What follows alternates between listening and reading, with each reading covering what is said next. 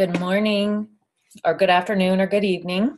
Um, I am going to explain Module 1, and this time you're going to get to see me in the corner with my slides. So you're going to have to let me know if that's distracting or not. So let me get going to share the screen. And we will do this. I won't be able to see myself, so hopefully, all right. Welcome to Module 1. You're in your first week here of Getting Naked Again Rocks, and I hope that this um, this information will serve you well. I'm very excited to share with you um, this module because it's mostly about mindset. Um, mindset is truly the cornerstone of this program. If you, um, if we can't get your mindset to work or in the proper frame of mind, um, you will experience frustration and failure. So it's the foundation to make a lasting change, and that's what we want is a lasting change um, it's sort of magical almost. And I've been working on it myself for the last, um, uh, since really since January, I have been digging deep into my own mindset and I've seen a transformation in my physical body, in my attitude, in my tolerance level for um, others and setting boundaries. Um, I'm more compassionate to myself and I've almost created sort of a heaven here on earth. Um, that's it's hard to explain, but it just really sets you up for success um, to get this mindset right. And I have so much to share with you, but we'll just kind of um, start out slow and skim the surface here in this module one. Uh, let's go into what we're going to cover today. Oh, first, the quote to change your life you have to change yourself. To change yourself, you have to change your mindset. And it is so true. Let's go in today. We'll cover, uh, we'll talk a little bit about manifesting your mindset and eradicating toxic thinking. Um, we're going to go give you, I'm going to give you a tool um, entitled Disciplined Imagination that um, I hope isn't too woo woo for you, but it really does is effective. Um, you get to create your own affirmations in this module. And I'm going to touch on journaling. Um, just touch on it this module. We'll we'll sort of dig maybe a little deeper into it later in the 12 week program. And then I will give you um, three act, action items to do to really start uh, the concrete part of this program is the diet and exercise part. Um, actually, this is just the diet part. So um, I won't skip that. All right. So, manifest a new mindset. Um, every thought we think becomes our future. And that's from Louise Hay. And it's so true. I really um, didn't realize how true this all was until I dug a little deeper and practiced it myself. Uh, let me explain to you a little bit about the mind. You have two levels of your mind the conscious level and the subconscious level. Um, the conscious level is where decisions are made, um, where you, the your rational mind is going. Um, the subconscious mind is irrational and it's it's things you don't even think about like your digestion your circulation your heart is beating. You don't think about those things but your subconscious mind keeps them going. So um, any habitual thought that you have in your conscious mind gets sunk down to that subconscious level. And your subconscious level does not distinguish whether those thoughts are true false rational irrational. The subconscious mind just believes that it is true and then it will set in motion um, those it'll make it'll make whatever those thoughts are come true. The subconscious mind accepts the idea as true and then will execute it to make it happen. An example that's not diet exercise related is if you're constantly saying i'm broke. We don't have enough money to afford this. I'm always broke. We're we're always um, lacking. We're short of money always. That may be partially true um, but it, it could be a bit irrational. Your subconscious doesn't know the difference. So it will execute that as fact and you will always experience lack. You'll always experience not having enough. So that's how um, important the mindset and the subconscious works. So um, let's move on i want to make sure we're going to go right into the toxic thinking yes that's what i thought was next okay so um, we all have we all talk to ourselves in your mind we have thousands of thoughts that you say to yourself or even out loud in the mirror every day. And you may not even be aware of how and what you're saying to yourself. Um, I don't know about you, but I uh, used to always look in the mirror and say, Look at my wrinkles, I'm getting old, my hair is thinning. Um, just a lot of negative self talk. And uh, I was told to become aware of it, and I was not a very nice person to myself. Um, and you know, you kind of have to think of it as: Would you treat your best friend like you treat yourself? And you ne- you wouldn't. You wouldn't even treat an enemy, someone you didn't like. Sometimes the way that you talk to yourself. So um, the first step, really, in kind of um, changing this negative self talk is just becoming an, aware of it. And as you can see on the screen here, I have four different kind of types of negative self talk. And the first one is um, filtering. Um, and a good example of filtering is um, it's sort of you filter out the bad or you filter out the good of your thought and you only concentrate on the bad. For instance, if you say something like, um, okay, so I uh, um, this week I didn't exercise. Uh, I only exercised twice, so therefore I am just gonna. I, this isn't this whole exercise program isn't for me. I'm gonna quit. And instead, you actually did exercise a couple of times that week and it's it's okay you can keep going so it's kind of you're just filtering out the good parts so that's one type Another one is shoulding yourself. Um, how many of us should all over ourselves? You know, you uh, say the words should, have to, um, ought to. You know, um, you know, I should, I should exercise every day. Well, that's irrational. You, you probably realistically um, can only exercise five times a week, or I shouldn't eat, eat past 8 p.m.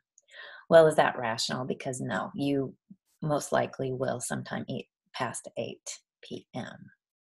Um, another example, then, really quick, is overgeneralizing. That is when we, you use words like never and always, like I never eat breakfast. So your subconscious mind will start believing that, and you just you just won't. You're it will make it happen. You won't eat breakfast, or uh, uh, I always eat ice cream every night. Um, and, you know, maybe that's true, but let's not say always and never. Try to avoid that. Um, the last one, all or nothing thinking. Oh, this is kind of like black and white thinking. Uh, um, I'm trying to think of another example than what I have in the workbook. Um, something like if I if I don't receive results in seven days, then this program must not work for me. So I'm just not going to do it.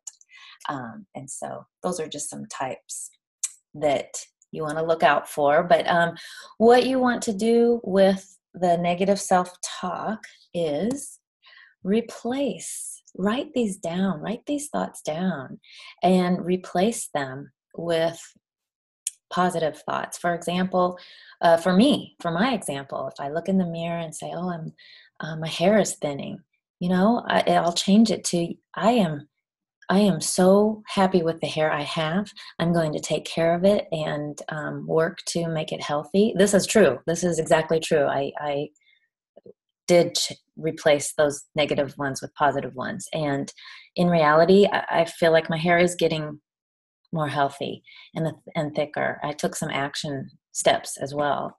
But it all starts with thought. It's biblical, right? It starts with a thought. All right. Uh, so catch yourself in your negative thoughts, become aware of it, stop, rethink, and um, you know, I used to think deprecating humor was funny and great and good, and everyone liked it, but really, I was not doing myself any good deeds. So, all right, let's move on to the other portion of this is um, disciplined imagination and um, the quote here is from Wayne Dyer The only limits you have are the limits you believe. And this is really a belief system. What you believe will come true. I know that sounds maybe far fetched or uh, maybe you don't quite believe it, but it is so true. You have to believe in your heart and your mind and your soul that you will be successful. This can be translated to other parts of your life as well. Um, there are two principal reasons for failure when starting a new program, and that one is lack of confidence, and the other one is um, too much effort. Doing like you just have to do too much. You can't sus- sustain. can't say that word.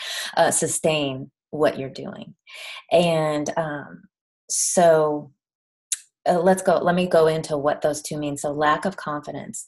If you just intend to lose weight or if you hope to have more energy and get fit um, that's lack of confidence. Instead you want to know that you're going to lose weight know that you're going to have more energy at the end of this program. Believe it in your mind and your heart that you are going to be successful. Um, the other part is the too much effort. I want this transformation to be easy for you and not forced upon you. Um, as we go through, I'm gonna I'm gonna throw a lot of tools and ideas at you over the next 12 weeks. You will not like some of them, and so you don't have to do them. Um, I want you to pick you know choose choose what works for you. Um, if something doesn't work for you tell me about it and we're going to find another another way that works for you. Um, but if you are working so hard at things you don't want to do or don't like it's too much effort you're not going to stick with it. You're not going to stay with it and it'll be too much effort. So i want you to to in this program do not do in order to get, just do and trust the process and know the end results, know that you're going to succeed. Leave the details to me. I will tell you what the next steps are, but just go with the flow and know that your life is unfolding as it's supposed to. All right, so um, there are, uh, I gave steps of how to do this disciplined imagination in your workbook. And, um, you know, you want to start with just being relaxed. Um, uh, just, you know, go through the whole, all of your body and just relax and say to yourself things like, I am at my ideal weight. I, I lost the weight. Losing the weight came easy to me whatever go back to your goals that you made in the last in the welcome packet and say things like i give thanks for the weight i've lost. I give thanks for the energy i now have.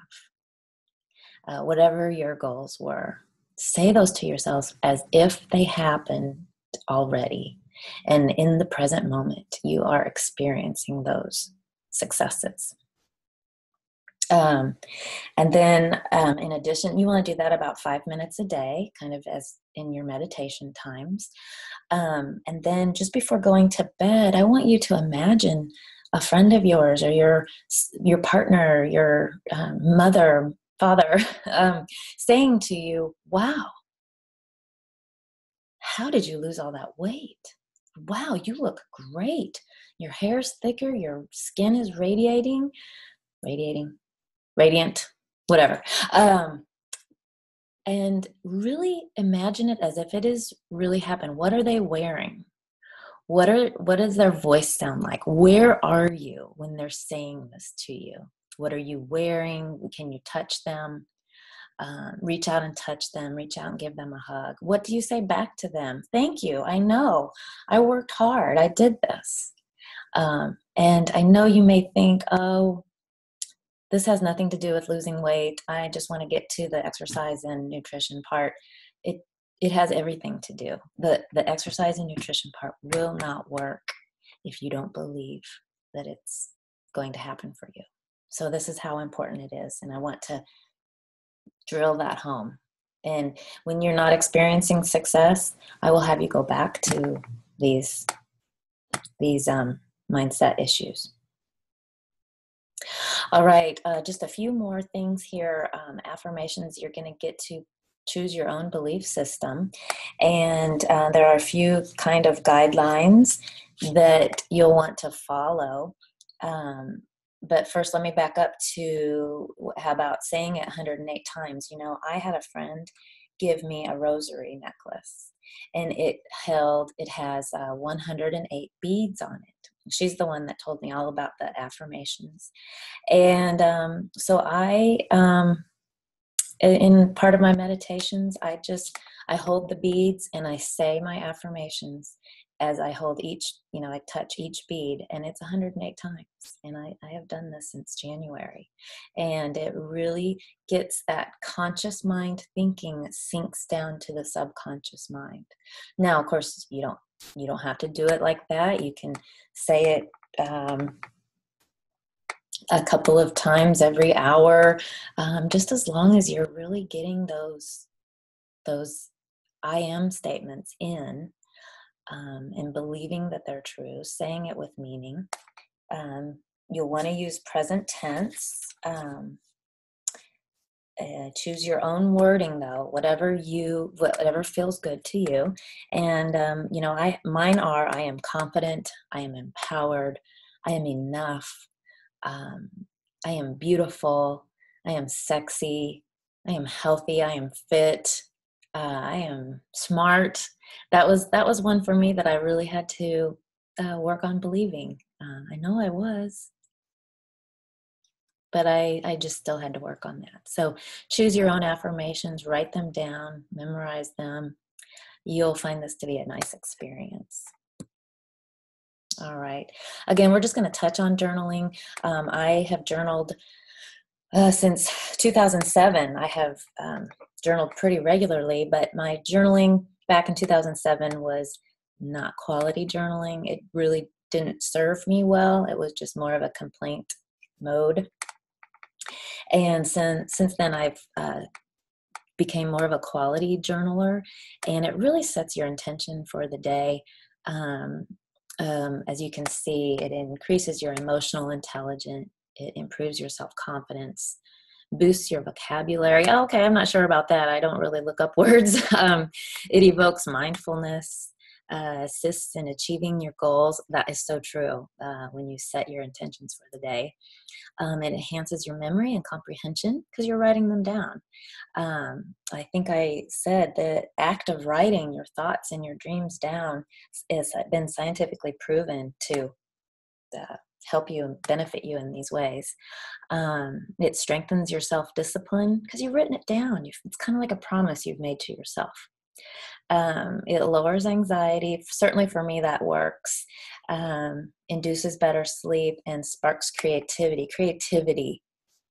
We all need creativity in our lives. And if you're not getting that, journaling is one way to um, get that. So let's talk about a little quality journaling. What what to do now? This is what I do. Um, of course, you feel free to write about whatever you want. But um, I always write uh, three or four things I'm grateful for. And one of them is always something very subtle, very small. Like I'm thankful for the rain, or I'm thankful for the ceiling fan uh, cooling me off here this summer. Um, I also write big things I'm grateful for, um, like you all. Um, you also, I also write. I think about the day before and think of the positive things that happened, and it could be small things like a smile from a stranger. Um, or uh, just I completed grocery shopping and got all the groceries away. or uh, this I put away the clothes of the laundry I did and it actually got put away and that's a big positive. So it can be really anything, but just starting to focus on the gratefulness and the positive. Um, and then I always write about what would make today great. To this morning, I wrote um, two things that I wanted to record this. Um, module one and also get ready for my first group call. And i'm i've already done the first one and i'm doing the second one now. So i feel like you know i wrote it down. It's a promise i made to myself.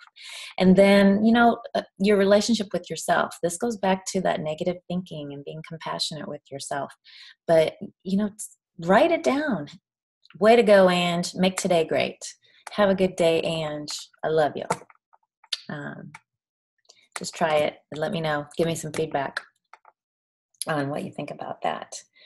All right, let's move on. All right, we're going to go right into your healthy kickstart because I know a lot of you want to are action oriented. We're going to go over the rule of twos, the sipping solution, and lemon water. So this is just the start of things I want you to be aware of. All right. So the rule of twos is eat twice as often. Uh, eat half as much and chew twice as long. So let's uh, go right into the first one eat twice as often. So, this is also known as grazing. Um, uh, eating more often every three, I wouldn't say every two hours, more like every three hours or so. Um, but you just, it keeps your insulin levels stable as well as your hormone levels stable. So it's very important to not let yourself get too hungry because, of course, lots can happen when you get hungry. You start, you'll just devour that leftover pizza. Um, when you do this, when you eat twice as often, I promise you, you will automatically eat half as much. Um, um, it may not be the first few days because you just are trying to get into the swing of things. But as you eat twice as often, you will become you'll be fuller faster. You're um, you will be intaking nutrients and your body will start trusting you. Um, so many of my clients in the past skip meals to save calories and think they're losing weight. And what happens is your body starts not trusting you. Your body says, Oh, you know, I haven't eaten in 12 hours because they usually skip breakfast. So I need to hang on to these nutrients that she gave me 12 hours ago and store them in the fat cells because I might need them for later if if I'm going to be starved. This is what your body thinks.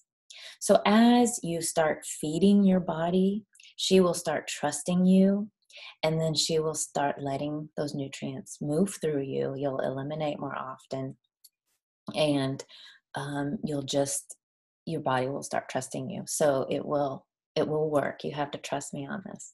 The last one chew twice as long. I'm still working on this. I i'm because i'm aware of it i realize when i take a bite i chew and sometimes before i even swallow i'm got the next bite in my mouth. So it's just something to really concentrate on and um, mindful eating is what it boils down to and instead of in front of the TV, sit at the table and just be very mindful of your um, each bite and enjoy each bite. All right, the next one is the sipping solution. I promise you, this alone has made a huge difference for me. Um, once I started incorporating this sipping solution in my diet, I I feel like I'm a little more in control of my eating and when I go out to lunches and go out to eat and have big weekends, this is what I come back to to kind of get myself back on track. So I wanted to share this one right away for you. Um, uh, what is a sipping solution? They're smoothies basically, or juicing. Now you don't have to have a juicer. Uh, just a simple blender will do. But this is a nutrient dense drink that fuels your body and your mind for the whole day. It's a great way to start. I have mine here, my orange sickle one here that I'm drinking right now. Um, um, also, when you drink some of your meals, um, it improves the absorption of the vitamins and minerals, and you'll actually poop more. it's a natural laxative. Um, if you are um, if you are constipated at all, this alone will help because if you think about it, your body has less to break down, and so it just moves through your body a little bit more. And believe it or not, later on in the program, we will be talking about your eliminations and poops. I know, awkward, uncomfortable, but it's got to be done. It's important. Um, also, it will boost your immunity and it helps with weight control. It truly does. So, I've included some recipes, some of my favorites. If you don't like the any of those, um, let me know. I have a bunch. I have become the smoothie queen. Um, and one thing I tell you to do is just to have a smoothie four or five times in the week for breakfast and your mid morning snack, and then eat a sensible lunch and a sensible dinner, of course. Um, but just that alone will really help kickstart your health. All right, I give you some examples of some snacks and things too. All right, all right. So let's move on to the last one is lemon water. Um, now, my habit, um, I still have a cup of coffee in the morning. Uh, that's just can't quite give that up yet. Um, and there's nothing wrong with coffee, so I don't mean to say it that way. Um, but my second cup is a lemon water, and I explain how I do it in the workbook. And it satisfies me enough to where I don't need that second cup of coffee. So I would like to hear from you to see how um, adding this habit um, helps your coffee or um, caffeinated beverage in the morning. And maybe you don't even do that, but this is such an important step. Um, to add lemon water because it really cleanses out your digestive system. Um, again, right here it promotes hydration. Uh, the days I do lemon water, which is almost every day, I uh, am peeing all the time. Um, of course, it's a good source of vitamin C. It improves your skin quality, supports weight loss. Um, aids in digestion, as I said before. It says it freshens breath. I'm not sure about that. I guess I have to ask my husband um, and prevents kidney stones. No one wants that. So, just a few things to start incorporating here this next week. And um, I hope that you enjoy that. And I'm going to just end with this quote from Alice in Wonderland. Alice says, This is impossible. And the Mad Hatter says, Only if you believe it is. Um, and it's so true. Believe in yourself, be compassionate with yourself, and well, here's to your health. All right, have a good week.